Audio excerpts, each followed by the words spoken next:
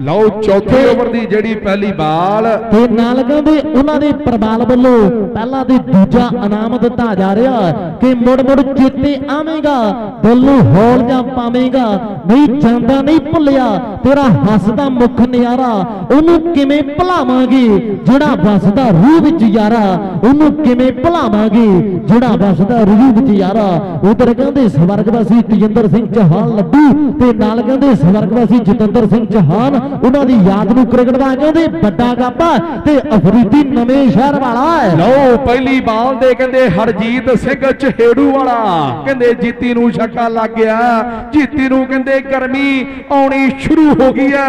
ਕਿਉਂਕਿ ਜਿਹੜੇ ਕੰਮ ਨੂੰ ਕਹਿੰਦੇ ਅਫਰੀਦੀ ਨੂੰ ਭੇਜਿਆ, ਉਹ ਕੰਮ ਸ਼ੁਰੂ ਕਰ ਦਿੱਤਾ ਹੈ। ਲਓ, ਝੇੜੂ ਪਿੰਡ ਦਾ ਜੀਤੀ ਤੇ ਸਾਹਮਣੇ ਫਰੀਦੀ ਟੱਕਰ ਕਹਿੰਦੇ ਸ਼ੇਰਾਂ ਦੀ ਸ਼ੇਰਾਂ ਦੇ ਨਾਲ। ਲਓ, ਦੂਜੀ ਬਾਲ ਦੇ ਵੀ ਕਿ ਬੈਲੀ ਬਣਦੇ ਨੇ, ਅੱਜ ਦੇ ਨਿਆਣੇ ਬੱਲੀਏ ਇਹ ਨਹੀਂ ਜਾਣਦੇ ਕਿ ਖੁੰਡ ਹਾਂ, ਪੁਰਾਣੇ ਬੱਲੀਏ ਤੇ ਅੱਜ ਕਹਿੰਦੇ ਵੀ ਤਰਨੀ ਆਦਮਪੁਰ ਵਾਲਾ ਵੀ ਸਾਡਾ ਵੀਰ ਉਚੇਚੇ ਦੌਰ ਤੇ ਪੁੱਜਿਆ ਹੋਇਆ ਹੈ ਤੇ ਨਾਲ ਕਹਿੰਦੇ ਵੱਡਾ ਇਕੱਠ ਹੋ ਜਾਣਾ ਹੈ ਤੇ 30 40 ਗੱਡੀਆਂ ਦਾ ਇਕੱਠਾ ਕਹਿੰਦੇ ਥੋੜੇ ਸਮੇਂ ਦੇ ਵਿੱਚ ਪੁੱਜਣਾ ਹੈ। ਉਹ ਇਕੱਠ ਕਾਹਦੇ ਕਰਕੇ ਕੀਤਾ ਜਾ ਰਿਹਾ? ਕਿਉਂਕਿ ਸਤਿਆਣੇ ਵਾਲੇ ਸਨੀ ਨੂੰ ਤੁੱਗ ਦੇਣਾ ਹੈ ਤੇ ਕੋਈ ਮਾੜੀ ਮੋਟੀ ਗੱਲ ਨਹੀਂ। ਉਧਰ ਹੀਰਾ ਵਾਲਿਆ ਤਿੰਨਾਂ ਦੇ ਤਿੰਨ ਛੱਕੇ ਲੱਗ ਚੁੱਕੇ ਆ।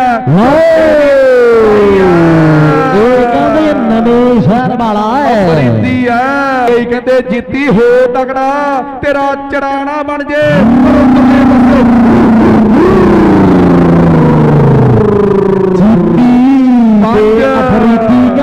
ਇਕਬਾਲ ਕਰ ਗਿਆ ਹੈ ਕਿ ਫਰੀ ਥਾਪੀਆਂ ਕੰਧਾਂ ਨੂੰ ਵੀ ਮਾਰਦਾ ਪਤਾ ਲੱਗ ਜਾਣਾ ਪੁੱਲ ਹੋਈ ਭਾਰਦਾ ਕਿ ਜਦੋਂ ਟੱਕਰਿਆ ਭਾੜੇ ਪਰਿਵਾਰ ਦਾ ਕਿਤੇ ਵੀ ਨਹੀਂ ਜੀ ਲੱਗਣਾ। ਉਹ ਘੋੜੀ ਘੋੜੀਆਂ 'ਚ ਦੇਖ ਲਈ ਭਜਾ ਕੇ।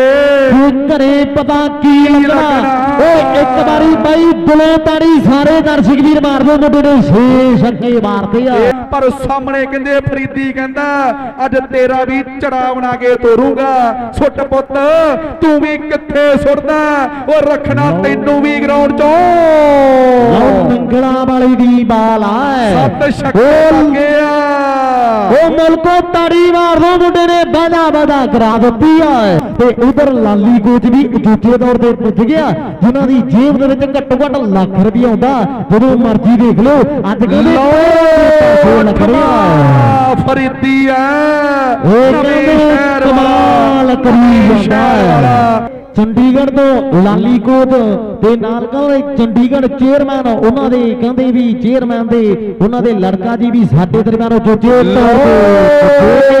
ਨੋਮਾ ਨੋਮਾ ਨੋਮਾ ਛੱਕਾ।